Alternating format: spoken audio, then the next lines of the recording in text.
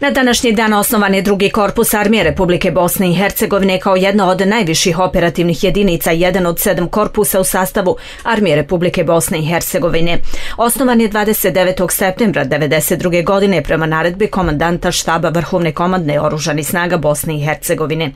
Sjedište korpusa bilo je u Tuzli, a zona odgovornosti protezala se na 28 općina sjeveroistočne i istočne Bosne te dijelom Posavine mi moramo i za narodnim periodu da sve te naše značajne datume odavati priznanja onim našim sinoma koji su dali jeli, najviše za ovu državu, a to su životi. Tako ćemo mi, dakle, sve ove koordinacije boračkih organizacija nastojati da se uvodi sve više, ukoliko se to mogodne, i djece iz škole da dolaze ovdje, da istorija se naša ne prekraja, jer istorija je samo jedna, istina je jedna, da su pripadnici armije Republike Bosne i Hercegovine odbranili cjelovitu Republiku Bosnu i Hercegovinu i mi smo dužni da takvu i ostavimo našim generacijama. Općinski načelnik Edin Delić također je bio član okružnog štaba teritorijalne odbrane za područje Tuzle, a kasnije član komande drugog korpusa. Do kraja rata sam obavljao odgovornu dužnost u toj jedinici i ovom prilikom svima pripadnicima i rukovodećih komandnih struktura korpusa i vojnicima, posebno porodicama, pojedincima koji su pretrpjeli žrtve za ovo što nas imamo, pućen čestitku povodom jeli, ovog označanog datuma koga obilježavamo.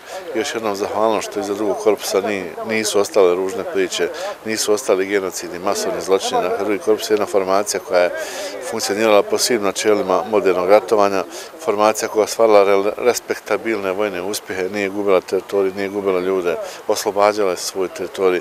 Formacija koja je bila organizirana od samog početka rata na jedan način, tako da su drugi prije imali šta od nas naučiti i kopirati, nego mi od njih. To je formacija koja je uspostavila sistem rukovodjenja i komandovanja prvo na kantonu našem od kriptozaštite sistema veze, upravljanje jedinicama na dislociranim lokacijama i sl. Dakle, to je formacija koja je na neki način bila, možemo slobodno kazati, kičmeni stup odbrane ne samo Bosne i Hercegovine u onom njenom nazivu, da kažemo, identitetu kao državne, države, naroda, nacija, manjina i sl. nego formacija koja je branila principe modernog čovečanstva 21. vijeka. Formacija koja je branila i multikulturizam na našem terenu, koja je branila ljudska prava, koja je na pojave, nije da ih nije bilo pojedinačnih kršenja, da kažemo, ova ljudskih sloboda, reagirala na način da su izvršioci hapšeni, suđeni i sredina koja je dan danas razumije i podržava, da kažemo, potrebe prepoznavanja žrtve bilo koga iz bilo kog naroda nevine žrtve. Isto tako podržavamo osudu zločina bilo čijeg iz bilo kog naroda, jedinice populacije, uključujući ove naše. Dakle, mi smatramo da smo mi baštinuli najbolje tradicije antifašističke borbe iz drugog svjetskog rata i da je na tradiciji borbe koju je imao drugi korpus moguće graditi bolje društvo, da možemo otići slobodno u Banja Luku i u Mostar, pogledati svakog oči kao što to ja činim i kazati, evo, bio sam, nemam se čega stiziti. Volio bi da opet ne budem ako nevolja nas natjera dok smo živi i na to smo spremni. Dakle, mi, mi se imamo čega sjećati, nemamo se čega stiditi i mislim da našim generacijama ostavljamo prilično čiste račune, prilično prostora da mogu sa ponosom se sjećati naših uspjeha i naših bitaka. Ja bih se evo prije svega zahvalio koordinaciji Boračkog udruženja i na ovom danas obilježavanju, ali na svim drugim koji oni zaista prate i mi, evo, naša je obaveza da svakako i u tome podržavamo. Danas je dan korpusa, dakle, na današnji 29. septembra 1992. godine naredbom E, vrhovnog štaba oružanih snaga Bosne i Hercegovine e, formiran je drugi korpus. To je, evo da kažemo, vojna formacija najvišeg ranga, jedan od sedam korpusa koliko je činila armija.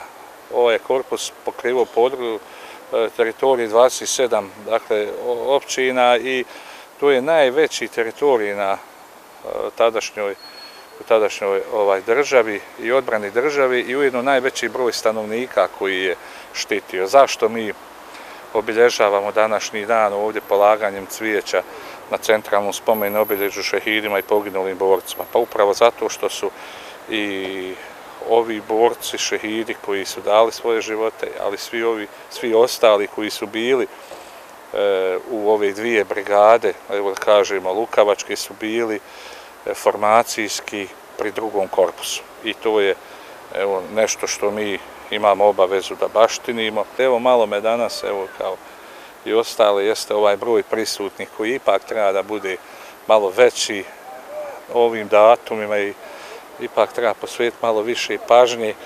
Ali evo, tako živimo u vremenu kada jel, svako žur ima svoje obaveze, mada je ovo, evo, ovo što su danas priredile nam koordinacija, evo, bar minimum onog što možemo učiniti, da se istina ne iskrivi, ne zamagli o svemu onome što je radi u drugih korpus, o podvizima i svim onim ratnim pohodima, odbrani naroda, odbrani države.